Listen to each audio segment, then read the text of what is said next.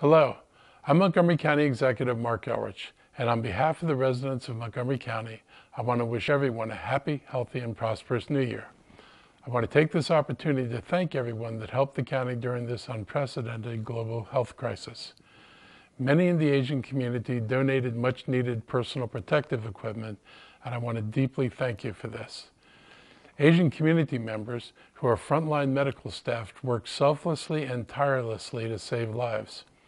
Other community members provided critical services as essential workers or donated or volunteered in food drives, helped to disseminate trustworthy COVID-19 information, helped with collecting important census data, assisted in the daily care of our vulnerable senior populations, and provided a comforting shoulder for those that feel isolated, and many other contributions too long to list. I want to thank you all for everything you have done to help your neighbors during this difficult time. We are all in this together and we will all get through this together.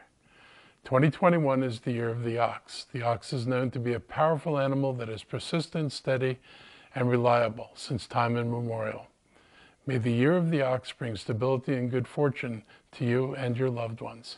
It is my hope that with the ongoing vaccination efforts, life can begin to return to normal.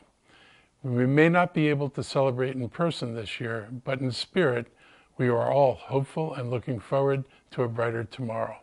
Once again, I wish everyone a happy, healthy, and prosperous new year.